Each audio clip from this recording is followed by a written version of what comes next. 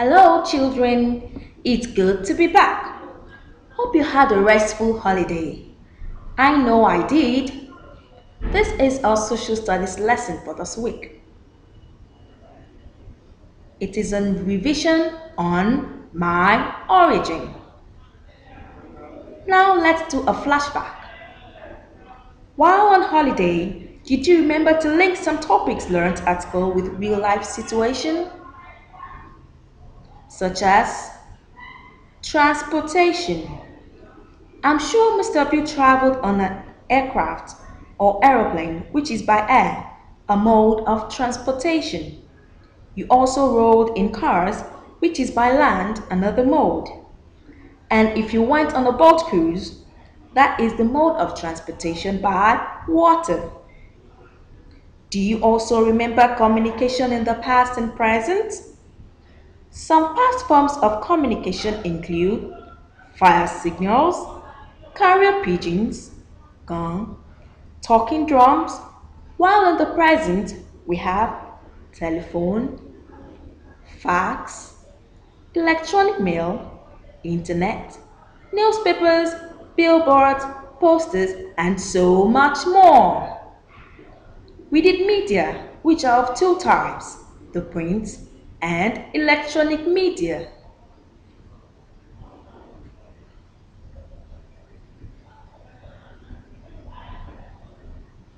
Buying and selling. Buying is where we obtain goods or services in exchange for money, while selling is the giving out of goods and services on receiving payment. In the olden days, we did trade by barter, then we moved on to cowries, and now we use money. We also talked about modes of worship, which are basically three types Christianity, Islam, and traditional worshippers. Now, I would like you to observe this picture. What do you see? Who are those people? Where do you think they come from? What type of attire do they have on? How do they look?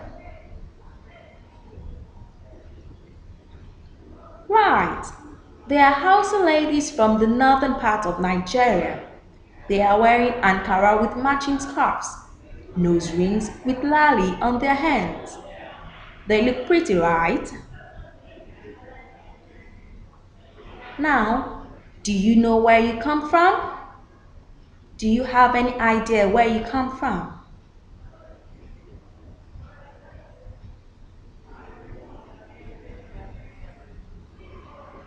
In Nigeria, there are many tribes, 370 and still counting.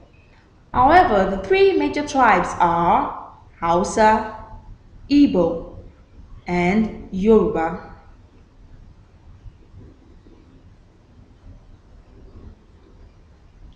The Igbos. They are found mostly in the eastern part of Nigeria. The men wear isiagu and wrapper, and the women wear blouse and wrapper, usually called george. Some special Igbo delicacies include abacha, apu, and egusi with bitter leaf soup. They celebrate the harvest of the new year with the New Yam Festival. The Yorubas can be found mainly in the western part of Nigeria. The men wear agbada, buba, and shokoto with fila, while the women wear buba, iro, ipele, and gele, which is the headgear. Some special delicacies include amala with gbegiri and ewedu soup.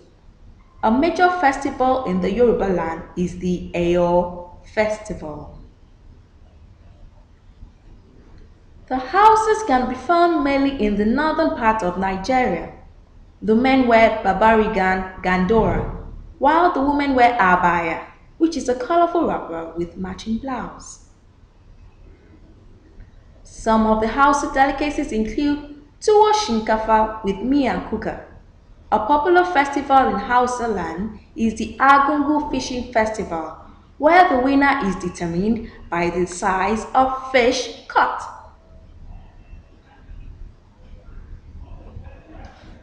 What have we learned in this lesson? We have learned about three major ethnic groups in Nigeria. Do you still remember them? Good! Hausa, Igbo, and Yoruba. Now, I would like you to find out about your own tribe. Find out where you're from, that is, your village, and your state. The language you speak, whether it's Efik, Igbo, how you greet people in your language. If you need any help, you can ask any of your family members to help you out. I hope you've enjoyed this lesson. See you next time. Bye.